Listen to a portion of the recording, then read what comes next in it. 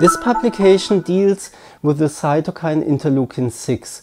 Interleukin 6 has two ways of signaling.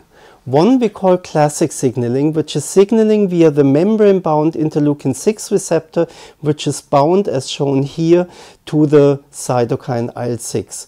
The signal is generated by a second protein, GP130, which then leads to intracellular signal transduction. Now what we found a couple of years ago is that there's a protease called ADAM17 which cleaves the membrane-bound IL-6 receptor and generates a soluble form of this protein. And this protein can still bind the ligand interleukin 6. Now the important aspect is that a cell like this, which has only GP130 but no membrane-bound IL-6 receptor, would not be able to respond to the cytokine IL-6. And GP130 is actually expressed on all cells of the body.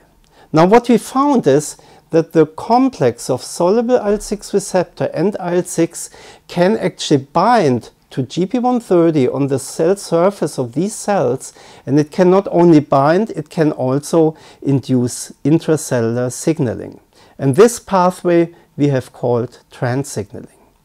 Now this classic signaling again via the membrane-bound receptor can be blocked, and this is actually done in the clinic already, can be blocked with a neutralizing antibody.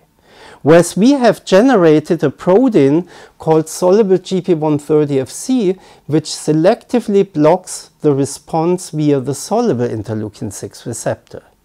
And now the question was whether the one or the other protein would be more beneficial in the treatment of autoinflammatory diseases. We used a murine model for infectious, for bacterial infectious diseases. And after infection of the mice, we treated the mice either with a neutralizing antibody against IL-6 or with a just introduced soluble GP130FC. And then we monitored how the course of the infectious disease would um, proceed after the one or after the other treatment.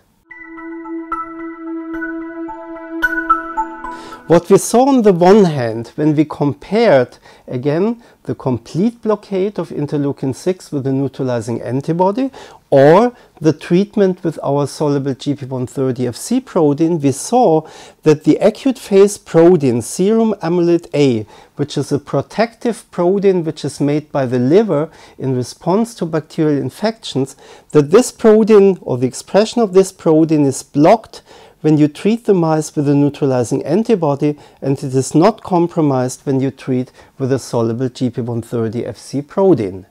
When you now look at the bacteria you find in the spleen and in the liver, you can clearly see that treatment with a neutralizing antibody increases the bacteria in spleen and in liver quite, quite tremendously, whereas the bacteria after treatment with soluble GP130FC protein remain the same or have a tendency to go down when you treat with soluble GP130FC.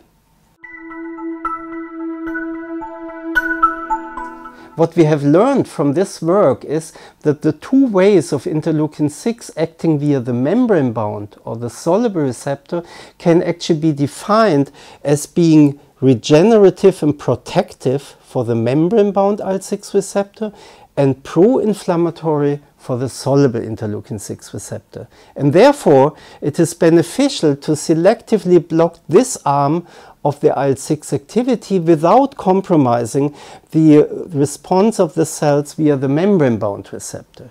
And this protein which we have generated, the soluble GP130FC, we have um, produced in large amounts under GMP conditions and this protein has now entered clinical phase 1 trials.